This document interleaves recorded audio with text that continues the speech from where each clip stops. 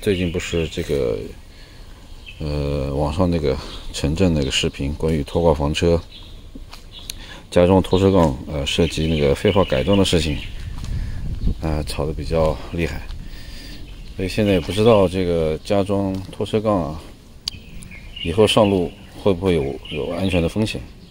这个事儿也要等过一段时间看看这个发酵的如何。然后最后要最好最好要有一个明确的说法，嗯，这个我们玩通话房车才能够 放心安全上路吧。这个，啊，在爱拓的这个 4S 店啊，把车这个保养一下，做个小保。这个爱拓的这边的 4S 店还是很干净、很整洁的啊，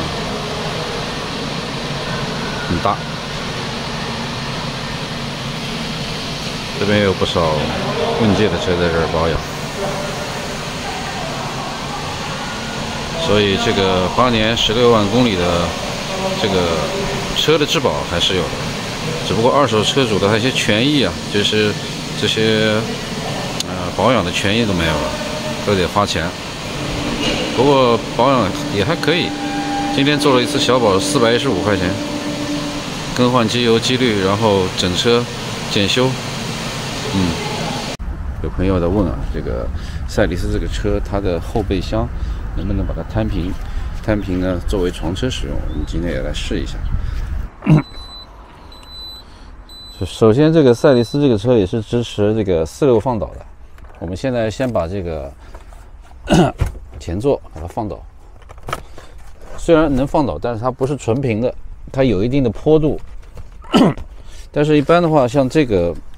这个坡度，现在的长度还是不够，不够一个人躺下来的。因为你看，这边有很大的空档，对吧？这边有很大的空档，所以头是不好放的。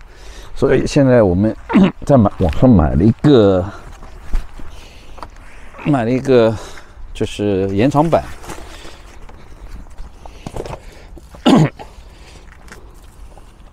在 这一头是挂在前座。然后可以伸缩调节，当然我们这个前座也需要往前再移一点。呃，这样的话应该就是一个像我一米七八，应该是可以睡的。然后再加一个床垫，应该就就够了。你看，像现现在的话就够了。你看，现在够了，可以伸直啊。你看，对吧？前面前面的前排往前推，往前推点。对，还可以再往前一点。这这个这个可以调整的，可以再往前推一点就可以了，啊，现在其实我脚已经可以伸直了，对吧？能达到一米八正好。一米八，这个一米八的买个一米八的床垫正好。那个就是加长版啊，买的嫌短了，买了四十的，所以换了一个，换了一个五十二的，五十二的长度这个就就挺好的，然后这个。正好是搁搁到这个，搁到这个后座的这块硬塑料上，所以整个的承重啊都没问题啊。然后绑在前座的这个座椅上面，然后再把这个充气充气垫往上一放，就成了一个床车了。后边看一下。还是比较平整的。呃，座椅啊，因为它的座椅比较厚，所以有一点坡度。好，铺上床垫，这个是一个自充气的床垫，然后往上面铺，这样就形成一个大床。这个宽呢，宽是一米一左右，然后在那枕头的那边是一米三，这样睡两个两个人也没问题。长度是一米八八，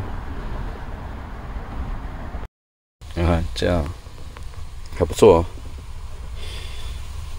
脚还没有顶到。